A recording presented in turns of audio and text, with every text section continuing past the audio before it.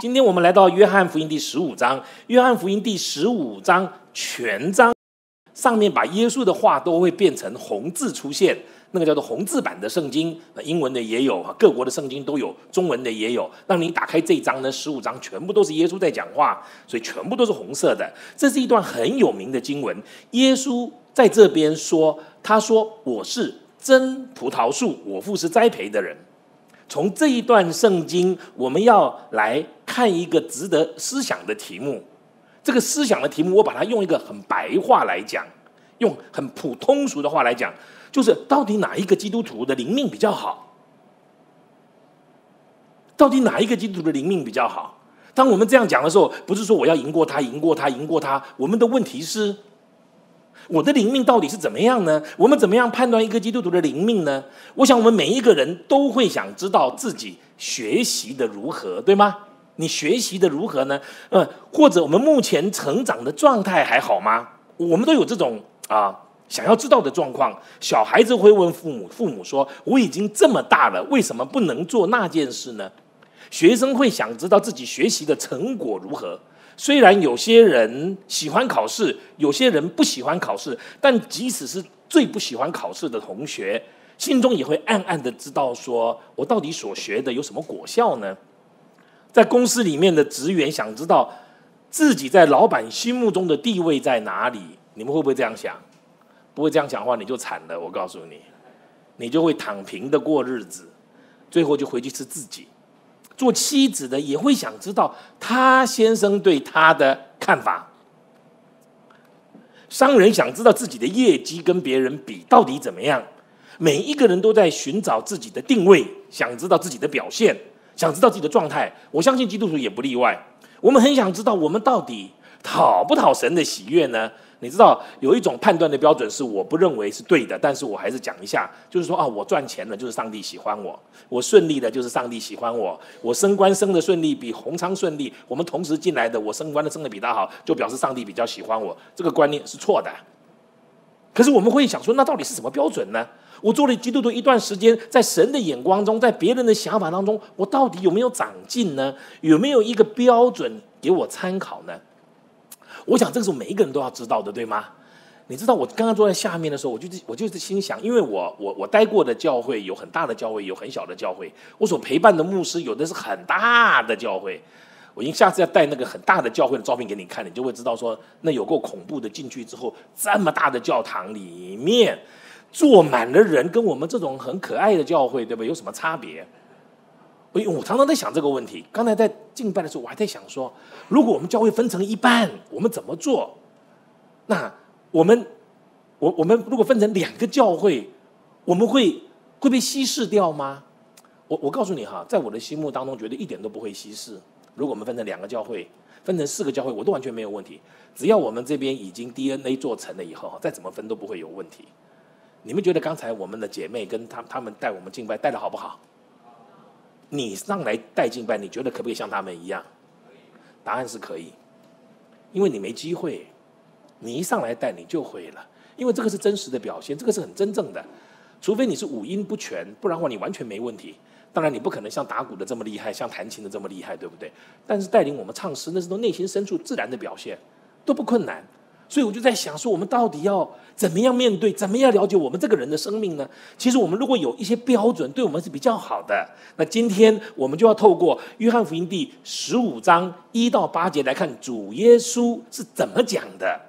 你知道主耶稣讲话才才对嘛？哈，保罗讲的我们也听，彼得讲的我们也听啊，教宗讲的某些我们也听，讲员讲的你们也要听，对不对？但主耶稣怎么说呢？我们来读。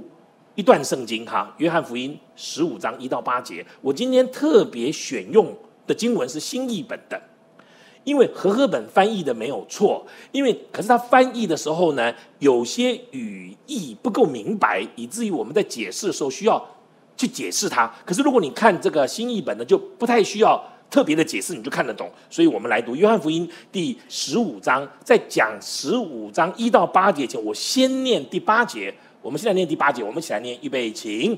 这样，你们我父就因此得荣耀，你们也就是，呃，我不知道你认不认为这是一个称赞，对吗？这是一个称赞。他说：“如果这样，我的父就是上帝，就得到荣耀了。”哎，我们怎么样可以让上帝得荣耀啊？你知道，不要让他丢脸，我们都都好了嘛，是不是？我们尽可能不让别人知道我们是基督徒，因为知道了之后，上帝就很丢脸。可是他说：“如果你这样，那我父就得荣耀，你们也就是我的门徒了。不是我们去申请的，主耶稣说你是我的门徒，我们还说不敢不敢，有没有？你知道我们我们华人哈特别谦虚，人家说哇你很棒，你都说没有，不是人家说你很棒，你应该说什么？谢谢，不是说没有，对不对？可是耶稣说这样你们就是我的门徒，那怎么样是耶稣的门徒呢？他说我们。”结很多的果子，所以基督徒生命中有一个很重要的判断的标准，就是结果子。结果子，基督徒生命的表现在各方面，但是其中有一个判断的标准，就是结果子。这样清楚吗？这样知道吗？我我们怎么知道你是一个好基督徒呢？因为我会结果子，所以基督徒生命的正常表现就是结果子。结果子。那我们现在来读约翰福音一章，哎，十五章一到八节哈，我们来读哈。来，第一节我读，你第二节你读哈。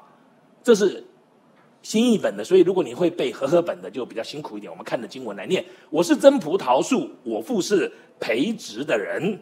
所有属我而不结果子的枝子，他就剪去；所有结果子的，他就修剪干净，让它结更多的。现在你们因我对你们所讲的道已经干净了。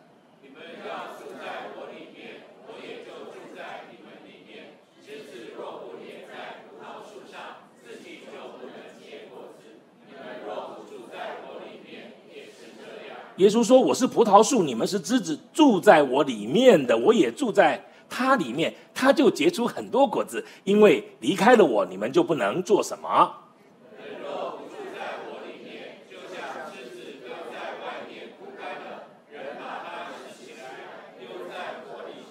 你们若住在我里面，我的话也留在你们里面。无论你们想要什么，祈求就给你们成就。”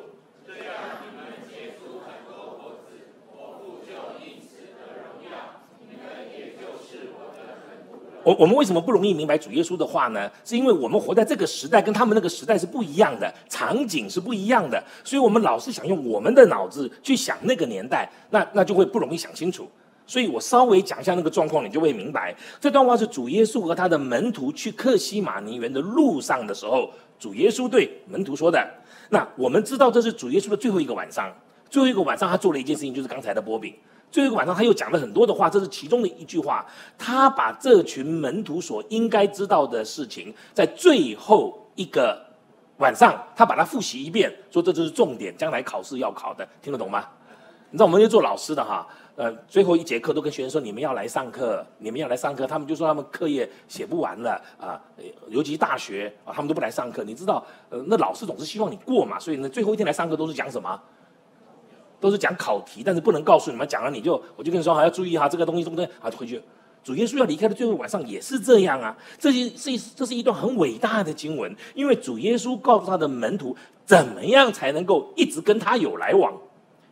你要知道啊，因为主耶稣要走了，他一离开之后呢，你怎么跟你有来往呢？我一离开，你要怎么跟我有来往？答案就是手机嘛，对不对？那不然我怎么来往呢？但是那个时候呢，主耶稣跟他们说：“你要怎么样呢？”所以他们走在路上的时候呢，耶稣就看到葡萄树，就做了这个比喻。也有可能当时葡萄树有一件事情，就是剪下来不要的那些葡萄树就会枝子就会干掉嘛，放在那边。那么怎么处理呢？与其让它慢慢烂掉，就不如放了一把火。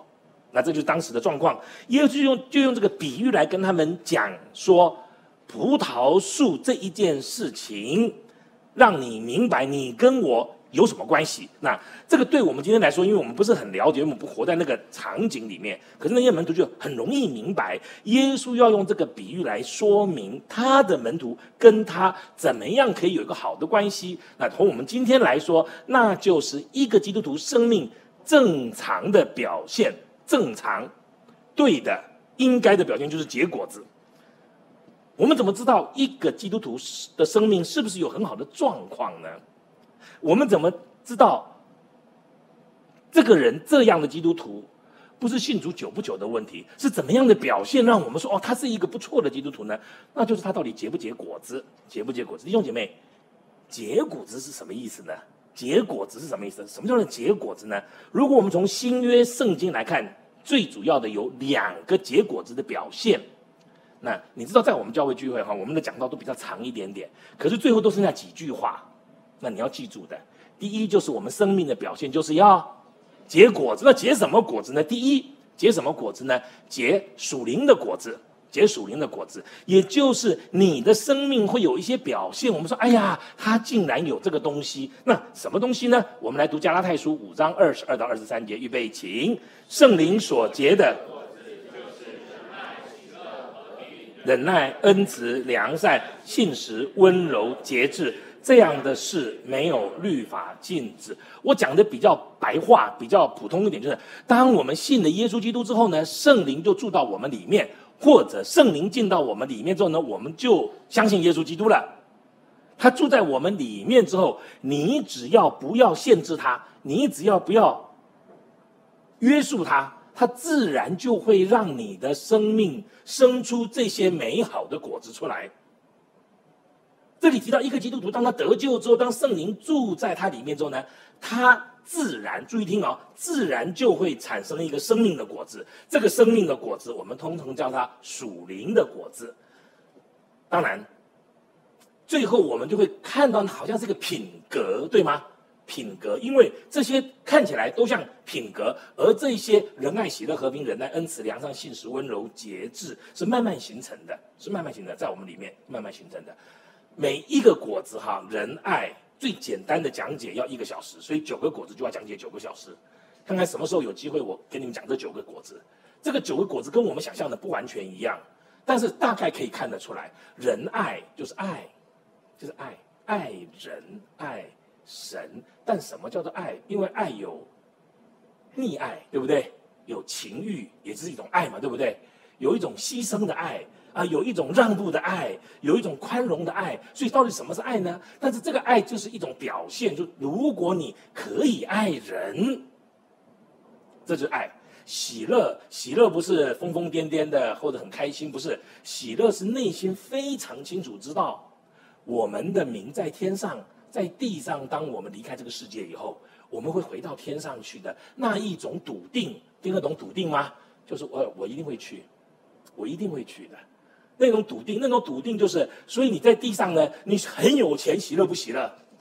不喜乐，那你们要那，请红章长老把奉献箱放在你看得到的地方了。这么多钱你还不喜乐？你捐出来说不定更喜乐，因为施比受更有福，对吗？所以当你很有钱的时候，你可能很喜乐；可是很穷的时候呢，你能不能喜乐呢？那这就是这里讲的说，如果你知道你的名在天上，这里不过暂住的地方，一会儿就过去了，那你其实有钱跟没钱，我真的告诉你。差距不太大。如果你真的听得懂的话，你真的是有喜乐；如果你听不懂的话，你喜乐还没有结得很多的果子出来。那这就这几个果子，就是我们的生命慢慢慢慢，他对人很信实，他对自己很诚实，这些都是慢慢长出来的。因此，成长、长成、开花、结果就会。生出这些属灵的果子出来，这种是一种表现。所以，一个基督徒好不好呢？一个基督徒有没有成熟呢？其实看得出来的。你们觉得，作为一个基督徒，别人看不看得出来？看不看得出来？当然看得出来，看不出来就麻烦了，对吗？对不对？哎，一棵树有结果子，一棵树没结果子，看不看得出来？看得出来，这是第一。第二，结什么果子呢？第二就结。哎，怎么不太能用了啊？哎，要用这边吗？基督徒生命正常的表现的第二个就是结福音的果子，结福音的果子。什么叫做结福音的果子呢？那我们就来看第十三节，一章十三节，预备，请弟兄们，我不愿意你们不知道，我屡次定义往你们那里去，要在你们中间得些果子，如同在其余的外邦人中一样。只是到如今仍有阻隔。保罗想去意大利，想去罗马。然后希望罗马的弟兄姐妹们比较有钱，就帮他把他送到西班牙去传福音。所以他写信给罗马，写信给罗马说说哈，我不愿意你们不知道，我实在很想去你们那边。他说要在你们就是目的，就是我要在你们当中传一些福音，让一些人得救。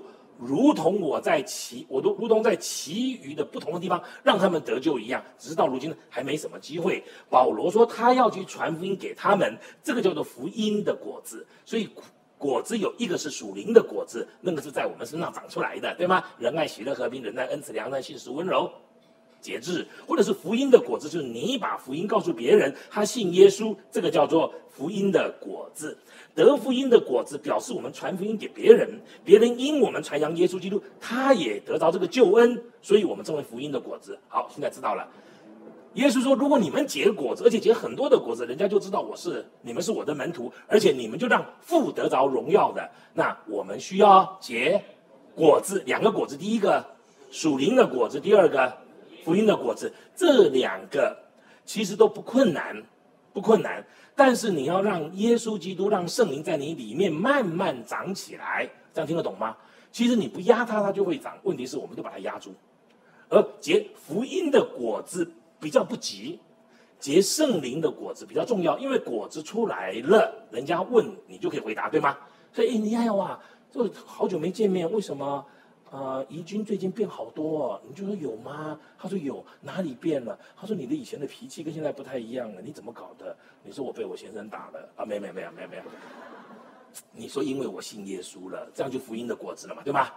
所以从属灵的果子就会结出福音的果子，所以这就结果子。好，那因为这个缘故呢，主耶稣就说第一节第二节啊，来，我们一起来读预备，请。我是真葡萄树，我父是培植的人。所有属我而不结果子的枝子，他就剪去。所以这里讲到，对，所以会结果子就表示我们让别人看见上帝在我们身上的工作，我们就把福音讲出去了。所以基督徒生命正常的表现是结果子，一个是属灵的果子，第二个是。那现在问题在这边，就是我们怎么结果子呢？我们怎么结果子呢？就是我也知道要结果，那怎么结果子呢？我们要来看，那到底是什么让我们能够结果子？结果子的条件是什么？我们先看答案，你把它背起来就容易了哈。那答案就是住在基督里，住在基督里来能结果子的条件是住在基督里。经文在这里第四节，我们一起来读一遍，请你们要住在我里面。我也就住在你们里面。枝子若不连在葡萄树上，自己就不能结果子。你们若不住在我里面，也是这样。好，为什么主耶稣要这样讲啊？因为在当时的的情况，他们是不明白。因为耶稣是一个人，那我们也是一个人，对吗？耶稣说：“你住在我里面，我住在你里面，这就想不通嘛。”不要说当时想不通，现在也想不通，对吗？所以耶稣就用一个比喻来跟他说说说果树能够结果子的条件，就说果树怎么能结果子呢？果树怎么能结果子呢？所以他这个比喻是很传神的。一个树，一棵树能够结果子，是代表了那棵树已经长成了，对吗？成熟了。如果一棵树我们看到它说啊，它已经结果子了，就表示它是一个成熟的果树嘛。如果它是幼苗，你就不能逼它，因为它还不会结果子。这样明白吗？我有没有让你觉得比较安全一点？你不要想说，我做基督徒的第一天，别人就看出我是基督徒，不可能嘛？你可能要很多年，你可能要几年，你可能要几个月，别人才会看出你是个基督徒。因为你的生命刚刚开始的时候，像一个 baby 一样，baby 只有制造麻烦，对不对？不然他会做什么？当然了，他的爸爸妈妈很高兴，对不对？可是如果不是你的孩子，烦不烦呐？你听得懂吗？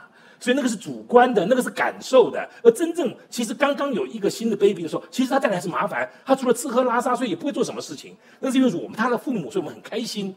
可是一个孩子等他有点成长之后，你就发觉说，哦，他的表现是这样。一棵树也是因为这个缘故，一棵树能够结果子，表示那棵树的生命已经成长成熟。如果一棵树，我们看到它已经有果实成长出来，我们就说这棵是一个成熟的果树。耶稣用大自然的现象来说明我们基督徒的生命。他说：“枝子如果想要结出属灵的果子，枝子如果想要结出福音的果子，并不是那个枝子有什么努力，不是，也不是我们怎么样要求自己。我相信所有的果树都不是枝子说我要结，呃，龙眼，它就结得出龙眼的，不是，它要结在龙眼树上，对吗？刚才我们长老们，我们都是九点九点多点，我们就在一起祷告。我们在一起祷告的时候，我们在一起祷告的时候，我就心有所感，我就祷告了一段，就是我内心对这个教会的的高兴，跟这个对教会这个教会的担心，因为我们哈没有叫你们一定要来聚会，我们没有。我们说希望你来聚会，对吗？如果要你一定要你来聚会，我有个办法，不来聚会，小心上帝修理你。你们下次就会乖乖的过来，对吗？那那句话对或不对呢？我不要告诉你。但是我们不这样说，我们不这样说，是因为我们不想强迫你来教会，我们希望你自动自发。可是这种自动自发的不讲的方式，对你们而言，就产生了很大的空间，对吗？你的 priority 出现的时候，就是说，今天我本来要做什么，可是又要去聚会，你又在当中做选择。如果我告诉你说，你一定要来聚会，因为来聚会的人，上帝比较喜悦他。我看你别的事情，你也不会想去做了，对吗？因为你要得到上帝的喜悦，你就跑来了。可是有一天你发现说，你来了好像上帝也没有喜欢你，你就更不想来了。听得懂吗？我不要让你有这种印象，所以我就我们就不讲这个话。我们希望你来聚会。我我们希望你好好的过基督徒的生活，可是我们不想用规则来压迫你。这个是我们觉我们这个教会让你成长的方法，就是你要自己成长，你要喜欢成长，不要我们这个这个你要成长过程中一直用木头把你架着，用用把你绑着，让你长起来。有一天我们把那个绑，我们把那个拆掉。我告诉你，拆掉两个可能性，它它真的长好了。第二个，它长得更不好，对不对？因为把你弄成温室里面的，那你就更惨。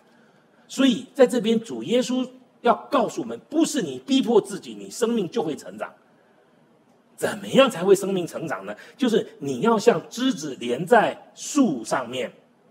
所有的果树都不是因为那个枝子想要表现自己，想要结出果子来，不是他们要与别的枝子比较，要跟其他的果树比较，说我要结出更多更好的果子来表现我的实力，来表现我的杰作。亲爱的弟兄姐妹，如果我们明白主耶稣这个比喻，我们就知道原来我们是一个有生命的，因为生命只有连在有生命的上面，那个东西才会从我们当中出来。因为这个缘故，所以主耶稣就用了这个比喻。我不知道，呃，各位吃过葡萄吗？吃过对不对？吃过葡萄哈，嗯。我们现在吃过的葡萄都是都是那个农夫哈，那个果农特别培养出来的，因为那些那些葡萄都长得满满的，嗯嗯，对吧？一串葡萄都长得满满的。有一天，啊，我就在那边帮我太太，其实不是帮我，就我们两个嘛哈。我就我她在那边煮饭，我在那边洗葡萄，我就拿了一串葡萄，我就拿剪刀要把那个那个头那里把它剪下来嘛哈，剪下来。因为呢，我们这两个人可能一串葡萄一次也吃不完，所以我们把它洗干净的放着，然后这样子吃。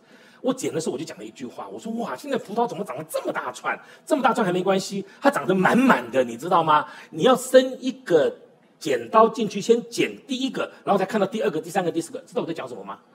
哎，你们不会都是葡萄都是别人弄给你吃的吧？Bread 是不是都是别人弄给你吃的？还把皮还把皮剥好给你吃吗？哦，你是你剪给他吃是不是哈？你看大家都要轮流帮忙嘛，对不对？彼此都要这样。当你去剪葡萄，你会发现说，哇，它怎么长得这么满呢？你知道这个改良是果农花很多的时间，很多的时间。可是我们看过葡萄，你看过葡萄树吗？那葡萄树是很奇怪的地方，你知道吗？葡萄树没有华丽的外表，葡萄树是一种很简单的一棵树。葡萄树和它的枝子几乎你不能分别，什么是葡萄树，什么是枝子。你不能，因为它那个葡萄树就就这么一点点，然后就变成枝子出来了，枝子就上面就是葡萄。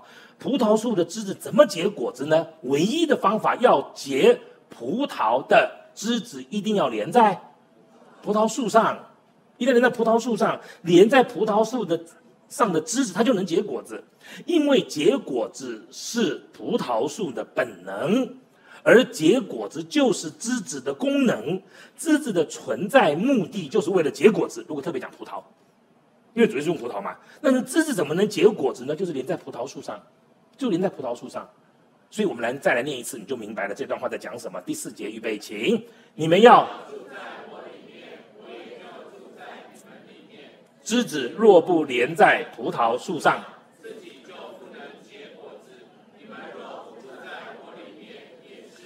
这个清楚的比喻让我们知道，因为前面讲了一个不容易明白的，你们要住在我里面，我也就住在你们里面。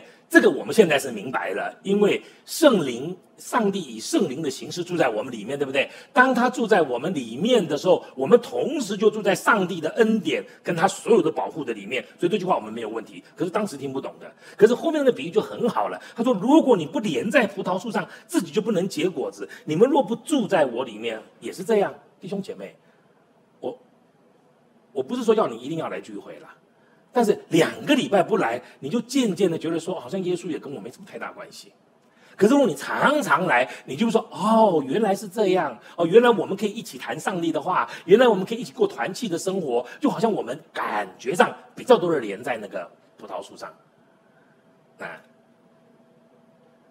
除非你真的很能那样，我觉得很少，就说哈，啊，我完全不去教会，我也没问题。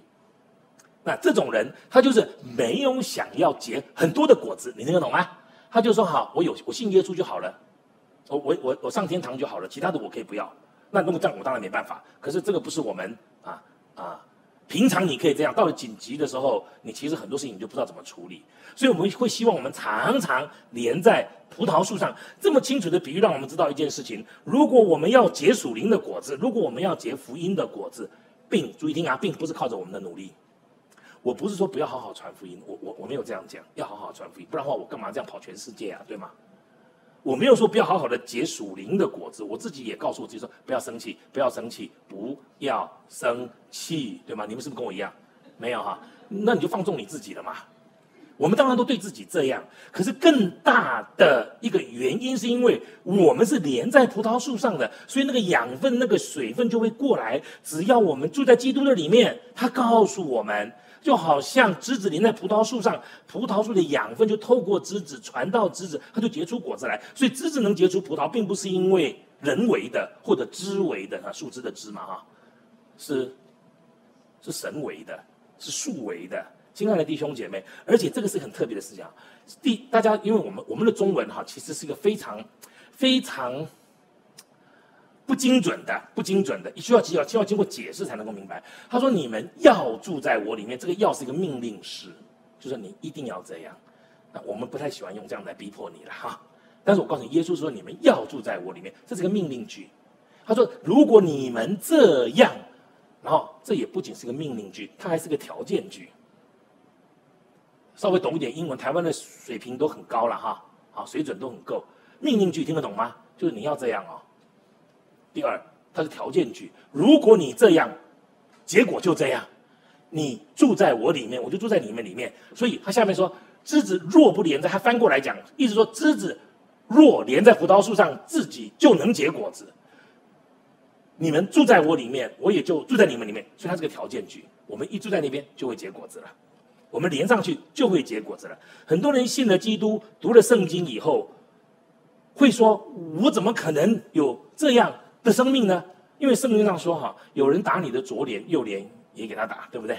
说人家拿你的呃呃里衣，连外衣也给他拿。有人强逼你走一里路，你同样走两里路。你说你打我的右脸，我没把你打左右脸就不错了。什么？你打我的右脸，我左脸给你打，还有这种事吗？对？你拿我的外衣里衣，我没有一脚踹你就不错了，对不对？你拿了就好了。什么？你拿我的里衣，我连外衣都给你，怎么有这种事呢？你知道当。圣经这样讲的时候，并不是说基督徒不这样就不是基督徒，他不是这个意思。他是说，当你基督徒做久了，你结出属灵的果子，你结出福音的果子的时候，你的反应就变了。当别人跟你要这个，你说哦，这样你够不够？不够，再拿一个过去。这样听得懂吗？这个叫做生命，因为耶稣基督就是这样的生命。所以，当你在他里面久了，你就会这样。这不是我们本来就会有的，同意吗？我们怎么会本来就有这些东西呢？你又没有病，你怎么会这样呢？可是当我们在基督里面的时候，那样子的生命进到我们里面，我们就会这样。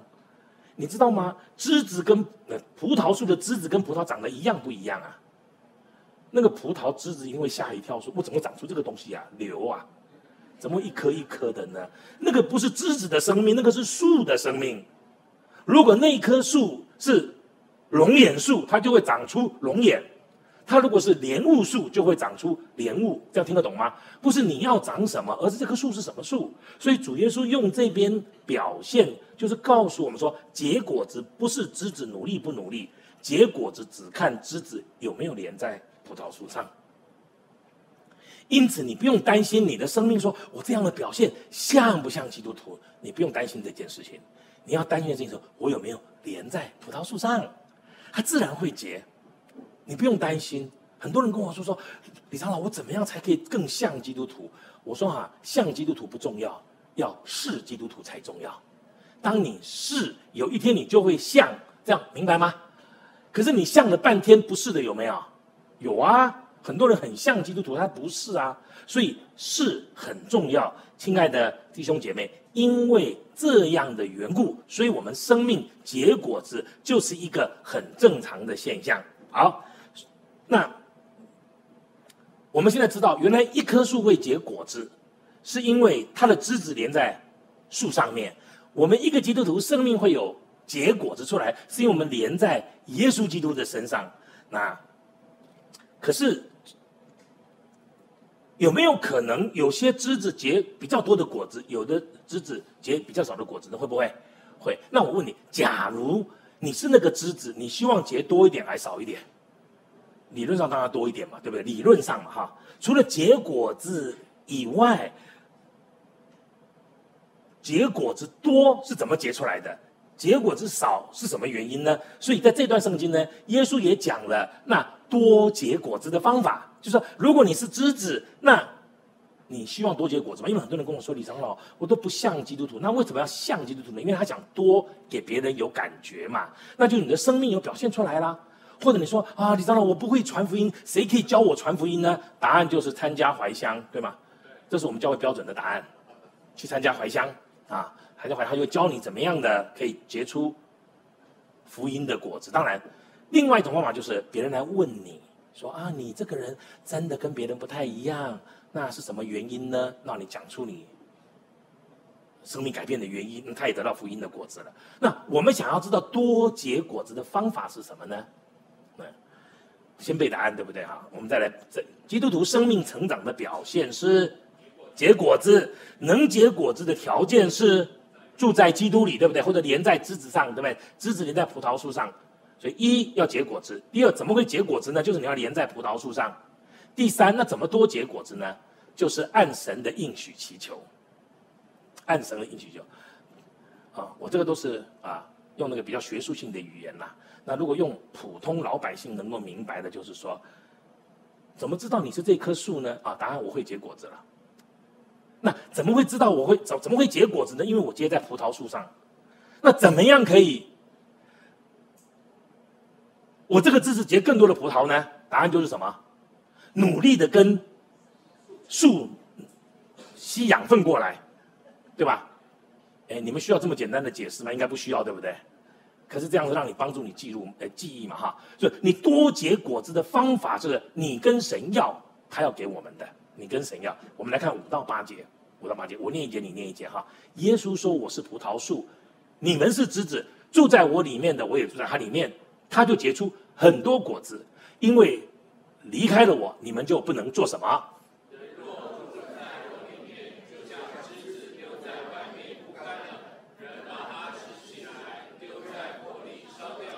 你们若住在我里面，我的话也留在你们里面。无论你们想要什么祈求，就给你们成就。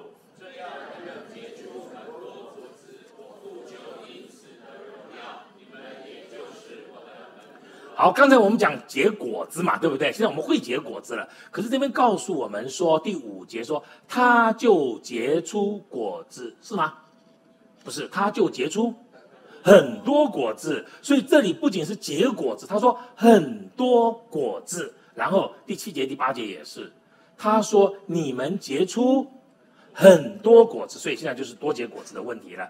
五到八节提到枝子能够结出果子还不够，这里说要结出很多果子，那我问你，一棵葡萄树它的价值取决于什么？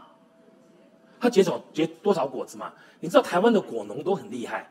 台湾是全世界那个果树当中培养的那个果子，水果是非常好的果子。因为我们的一般的农夫哈，你都以为那些农，我农夫很多是读过书的，他们知道怎么样改良，他们很努力的改良。一棵葡萄树结越多的果子，它就越有价值。前面我们提到，住在里面就能结果子，结在葡萄树上就能结果子，不离开它就能结果子。但是怎么样可以结许多果子呢？第七节。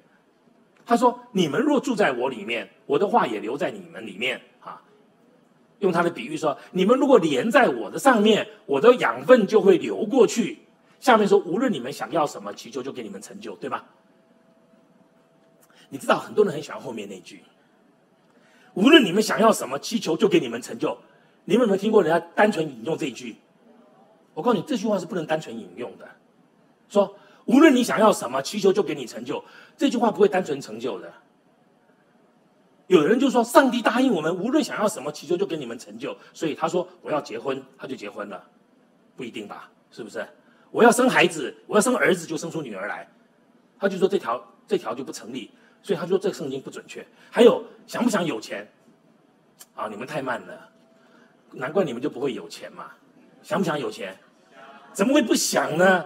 你知道有钱跟没钱差很远呢，怎么会不要有钱呢？可是无论你想要什么，祈求就给你成就。你说上帝啊，我要很有钱，他有答应你吗？为什么呢？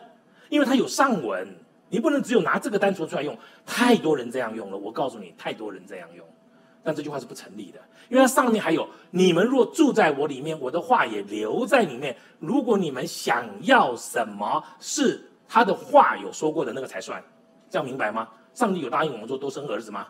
上帝有答应我们都一一帆风顺吗？没有啊。上帝有说我们大家都有钱人吗？没有啊。那上帝的很多的呃先圣先贤里面有钱的很多，穷的人更多，对吗？所以他并没有要给我们这些东西，他答应我们的反而是另外一个东西啊。你知道这种引用经文断章取义的很多。我曾经听一个很有名的讲员说，他说耶和华与我同在，人能拿我怎么样呢？我还怕谁呢？你听得懂吗？这句话没有上下文，单纯引出来，那基督徒不就是流氓吗？那不然你还说你是什么呢？你说耶和华与我同在，人能拿我怎么样呢？我还怕谁呢？对不对？我到你家拿东西是应该的啊。耶和华与我同在，我还怕谁呢？你不能单纯引用这句话，你要引用上下文嘛。所以这边说怎么样可以多结果子，结许多果子？它的英文是 much much fruit，我有很多的果子。我有许多的果子，那是不可数的，所以叫 much fruit。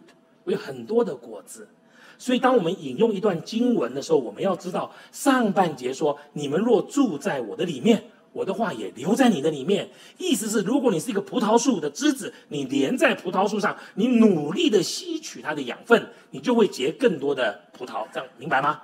所以你说啊，我是一个葡萄树，可是呢，我要吸取，不不吸取，就或是我想结龙眼，可以吗？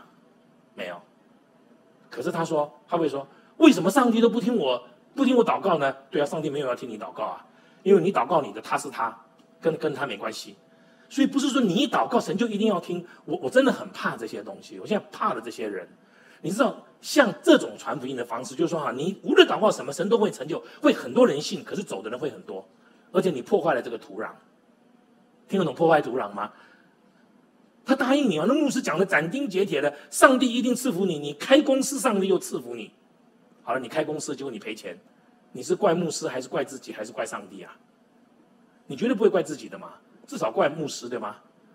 但是牧师会说你没有好好祷告，你听得懂吗？所以他又推到你身上，结果你又不想怪自己，你最后是怪谁？这是简单的逻辑，但是大家都这样做。然后那个病啊很严重，他就说哈。我奉主的名叫他起来，不是你又不是耶稣，对不对？你不能奉主的名嘛？不是你要这样就要这样的，所以它有上下文。那亲爱的弟兄姐妹，因为这个缘故，其实我们在连在葡萄树上，让那个让那个养分过来，慢慢慢慢，我们就结很多的果子出来，枝子会长出那棵树的果实。我们如果是结在葡萄树上。你可以结什么果子？我可以告诉你，一定有的，就是结出饶恕的果子。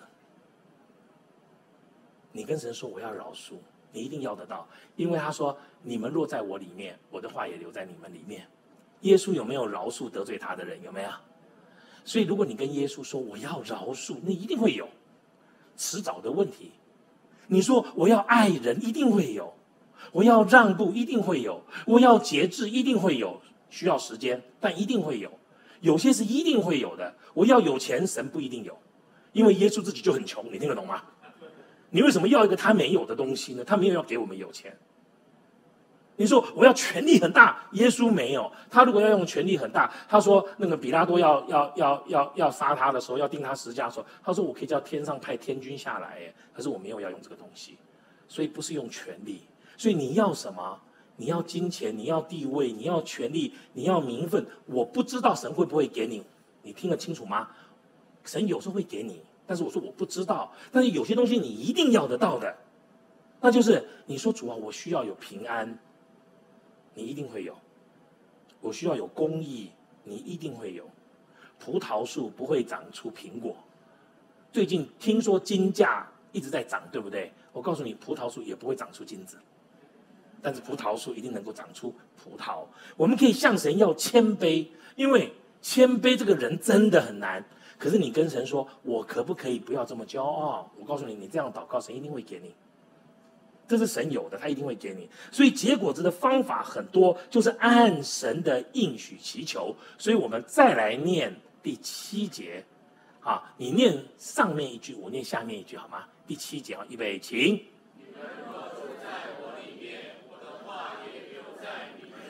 无论你们想要什么，祈求就给你们成就。所以当我们留在主的里面，主的话也在我们里面的时候，我们要。他要给我们的东西一定要得到。那我现在告诉你，其实我们跟神要的，我们以前不了不明白这个经文之后，跟神要的都其实是很廉价的东西，连金子都很廉价。什么是贵重的呢？谦卑是贵重的，饶恕是贵重的，智慧是贵重的，节制是贵重的，让步是贵重的。那那一些可以用钱计算出来的都是廉价的，真的，不然的话金价怎么浮动这么厉害？你听得懂吗？因为它可以上也可以下嘛。那股票就更厉害了，是不是？最近日本听说去日本玩很划得来哈。我下个礼拜去日本，请你们为我祷告。我不是去玩，我这一辈子从来没有去过日本，好笑吧？你知道为什么原因吗？因为没有人去请我去那边讲道，所以我没去过。我所有去过的国家都是人家请我去讲道，我没有去过日本。我在日本成田机场不知道转了多少飞机去美国，就是没有去过日本。我终于要进去了，在那里建立新的尼西米小组，请你们为我祷告。又开了一个国家，真的又开一个国家。一共那里面，日本是一个有非常多宣教士、非常多传道人的地方，但他们唯一的共通点是挫折。向日本人传福音简直像提到铁板一样。全世界大概日本是最困难传福音的地方，也因为这样，人家都没有要请我去，你知道吗？可是后来我就发觉那边的宣教实在太辛苦了，所以有个宣教师跟我说：“李长老，你愿意过来帮我们宣教士吗？”我说好，所以我们要过去帮他们建立一个小组。我相信日本很快就会有很多的传道人的小组出来，因为他们必须在一起，他们必须彼此鼓励，他们要在一起说：“我们没关系，我们不要软弱，反正我们这么多人，我们就慢慢弄，慢慢弄。”那我要快快要去日本，你们为我祷告。其实日本是我最合适去的地方，因为我父母以前受日本教育，所以我父母在家都讲日本话。他们只要不要我们孩子听的话，都用日本话讲，结果我们就把日本话学起来了，对吗？因为小孩子就有这个本事啊，就你讲什么，你你看着我们那样那样就讲的话，他就讲讲，我们马上知道他讲什么了。后来我大学的时候又读了日文，为什么？因为我们读法律的需要日文，那个时候日文、德文跟英文嘛。那因为我们比较早期的都是读日文跟德文，都是德国毕业的、日本毕业的。我们早期英英美国毕业的不是很多，美国毕业不是很多。那英美法在我们这边比较是啊，不是我们很看重的，就那个年代的，我们那个年代。所以后来我们那个同学，呃，有几个去美国念书，什么叶俊荣啊，什么去美国念书。我们说你是不是德国？申请不到才跑去美国念书啊！后来人家是有先见之明，你知道吗？他说将来美国法还是会有用的，所以他们就跑到美国去念书了。我那个时候把日文学得很好，我最厉害的时候看着日文电视剧不用看字幕，这厉害吧？你要这日文也是很难学的缘故，是它的外来语太多。他说他主要是外来语，他们有外来语的字典，每一年都要重新编，因为外来语哈，他们就是用日本的外来，语，日本用德国的外来语，用丹麦的外来语，就是他们只要那个字方便，就把它翻成日文。所以日本也是全世界翻译最好的国家，因为任何一篇好的文章，日本都把它翻成日文，所以日本人就不会懂外文。你听懂吗？有有有有有两个国家的人是不懂外文的，一个是美国人。美国人是不懂外文的，他们只懂美英文，一般走英文就走走遍天下了嘛。日本人也不需要的，你你你要是看日本人在外面旅游哈，那么一定有人全部讲日文的旅游团在带他们，就那个那个导游。那所以，我我会日文应该很很容易嘛。可是我三我四十年没碰日文，对我四十年没碰日文。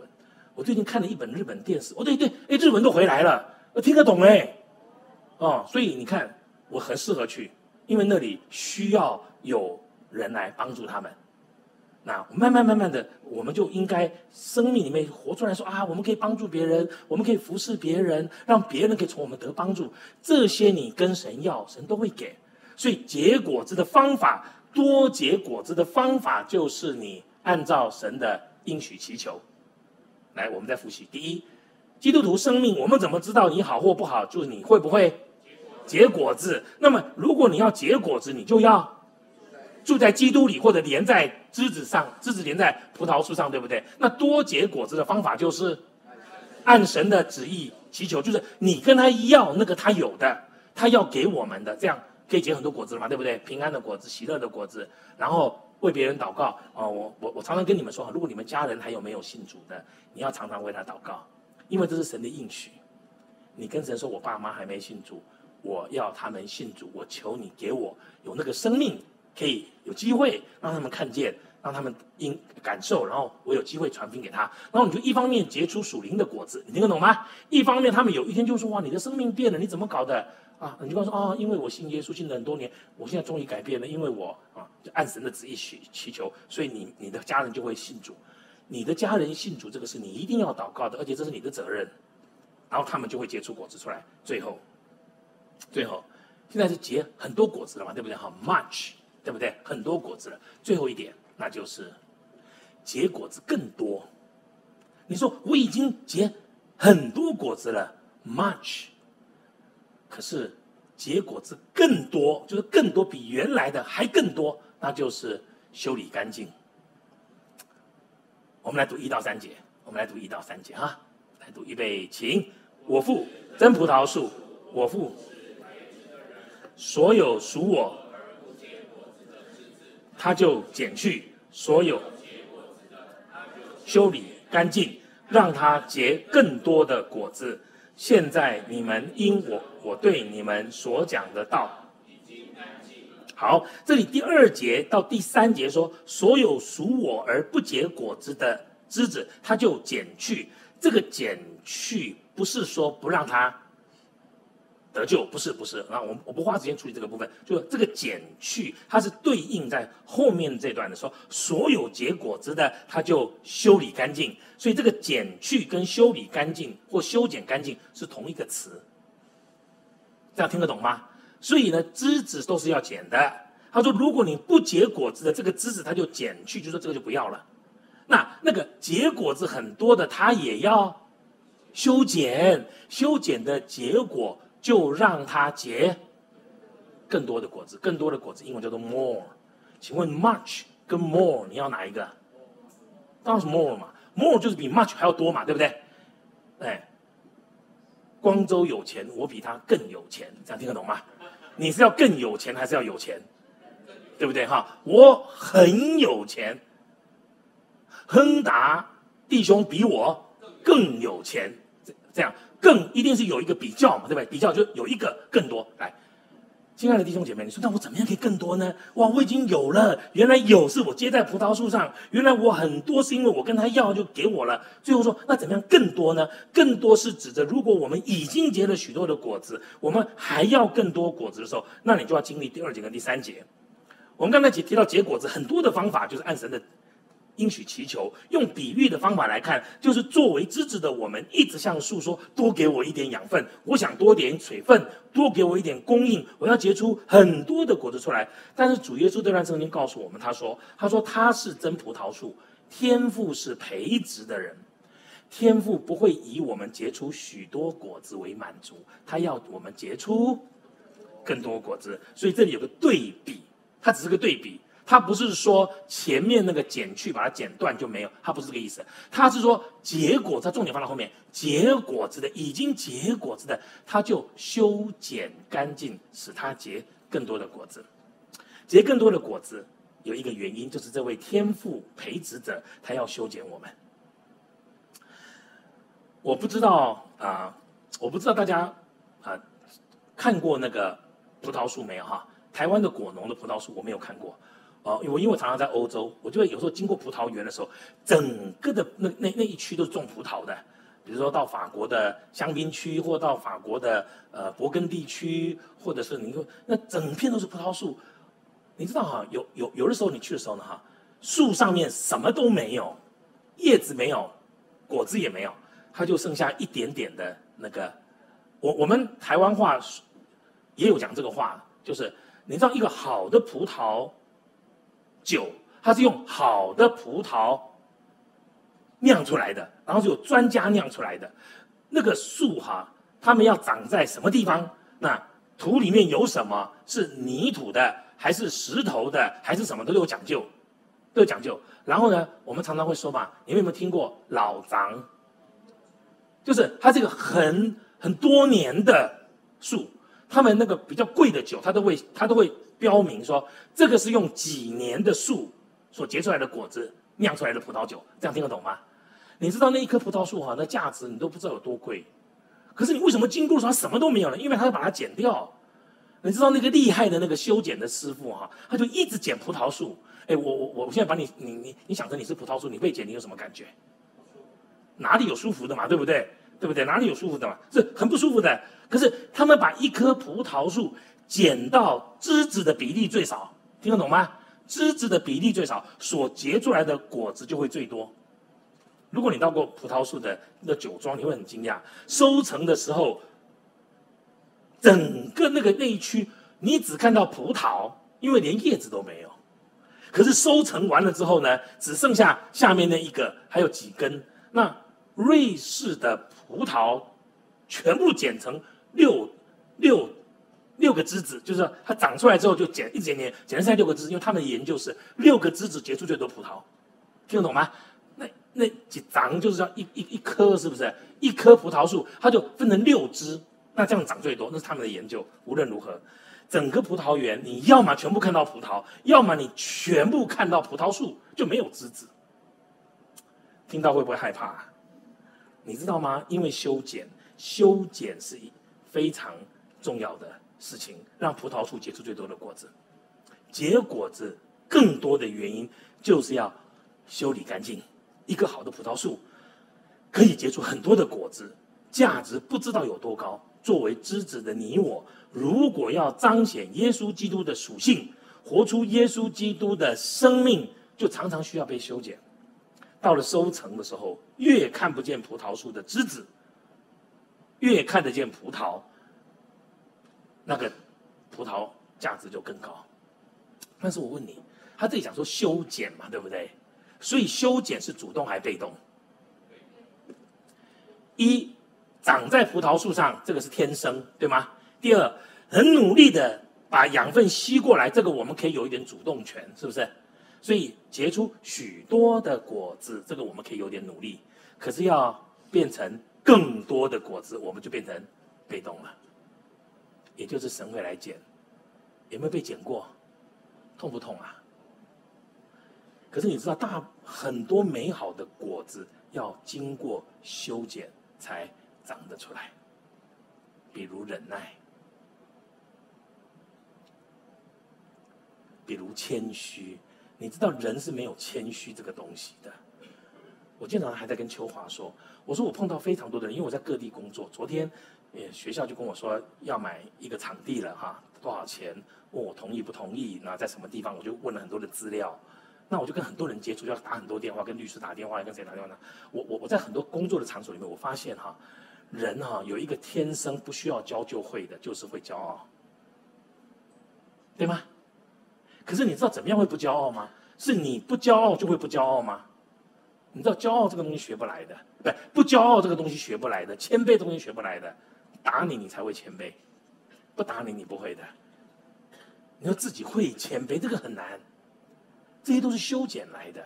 所以怎么样结更多的果子是被动的，我知道我们也不想要，不过我今天告诉你是，不管你想要不想要，它都会修剪。不是你要不要的问题，时候到了，他就来修剪。那到底什么是修剪呢？修剪就是主对付我们，用环境对付我们，用人物对付我们，用苦难对付我们。最近你们有碰到地震吗？我问你，地震你有没有发现你能力很有限？有没有？而且住在越高的楼层的人越觉得自己能力的有限，对不对？因为你跑也不是，不跑也不是。问题你还没跑到楼下，该倒了就会倒掉，对不对？可是不倒的话呢，你怎么办呢？问题是你晃的这么厉害，你怎么办呢？你就发觉你能力有限。人物让我们知道我们脾气的暴躁、耐心的缺乏。家人让你脾气不好，工作伙伴让你脾气不好，甚至连隔壁讨厌的邻居都让你产生缺乏耐心的状态。苦难让我们知道我们何等的脆弱，何等的自以为是，何等的自我中心。你只要一生病，你都不觉得你立刻就乖乖了，对吗？不生病都觉得自己很了不起，一生病了你就什么都不会。在这里，我们必须承认，修剪对我们并不是一件很舒服的事情。我们会问，为什么要剪这一段呢？你知道，因为剪的人不跟我们商量的，剪的人是不跟我们商量，因为他要剪他就剪了嘛，对不对？你有没有看过那个修剪葡萄树的？你知道那些葡萄树的工人，的那些那些那些那些果农是很厉害的，他一看就知道这个要剪。可是葡萄树自己知道吗？他不知道的，所以就咵就剪下去。他不会跟他说剪一下哈，痛一下，忍耐一下哈。他从来不这样做的，所以你知道上帝对我们也是这样。可是那个目的是要让我们结果子更多。我我我十几年，呃，疫情前我十几年都在外面服侍嘛哈。我都我我每次去看医生，台北的医生，我每次去看医生，呃，不然现在是。是已经是我的我后面这段他来做我的医生。以前有个医生看了我十几年，他说他从来没有看过我的喉咙是正常的。我去看到的时候永远是红色的、肿的、发脓的啊，就这。他说从来没看过。疫情的第二年有一次我去看病，我去看看我，他说李长老师，我第一次看到你的喉咙是正常的，因为太累了嘛，太累了。那等到后来。不然你看我的时候，我就有时候好，有时候不好嘛。最近还不错了哈，就没有用的很多，因为服饰也服饰也减少了嘛哈。那这个还是我自己造成的，对不对？我问你，你的生病谁有跟你商量吗？生一下病好吗？没有哈。腿撞断一下好不可以？可以不可以？啊，不可以哈。那个隔壁的人找你的麻烦可以吗？你一定也不可以嘛。该轮到你升官了，不升你可以吗？上帝会不会跟你商量？不会嘛。可是人如果没有在这种状况之下，他不会明白的。人自然就会骄傲。我跟这么多人工作服侍啊，他刚开始都好谦卑，可是随着他的他的地位的提高，啊，这讲话越来越生气，讲来讲话越来越越来越大牌，他能力越来越强。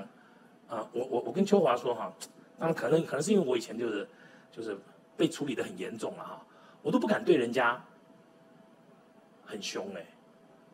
你们以为我很凶对不对？我都不敢对人家很凶哎。我都觉得说，哇，他讲话都越来越，我都我都我有的时候偶尔脾气来了，我就哇一下上来。可是呢，大部分时候我都不行，我都忍耐到不行。如果大家不要忍耐，我们就各有自己生活的方式，对吗？可是这些东西哪里来的？我告诉你，修剪来的，一定会修剪来的。而且修剪的人从来不通知我们，他也不通知我们怎么修剪。我我相信这个道理大家都明白，理智上都能够接受。可是当我们发生事情的时候，我们就很难。我先告诉你，神修剪我们，是因为希望我们结果子更多。所以，第一，我们需要结果子来证明我们是神的儿女；第二，我们应该结在葡萄树上，这样我们就能结果子；第三，如果我们很努力的跟神要一些东西，我们就能结果子很多。最后，如果神主动出手了，我们就会结更多的果子。天父，我们仰望你，求你保守我们。我们现在知道，原来我们的生命是有一个过程，也生命是有一个学习的阶段。求你帮助我们，让我们欢欢喜喜接受你的恩典。说我们已经得得着生命，我们盼望常常留在葡萄树上。我们也求你，让我们懂得跟你要更多你生命的属性。最后，我们很害怕，可是我们很勉强的对你说，我们愿意接受修剪，因为这是你的心意。我们也相信修剪过后会有美好的结果。我们现在要分散，我们要一起吃饭。愿主耶稣基督的恩惠、天赋上帝的慈爱、圣灵的感动、交通、安慰、鼓励，与我们众弟兄姐妹、弟兄姐妹的家人和神在普世的众教会同在，从今直到永永远远。阿门。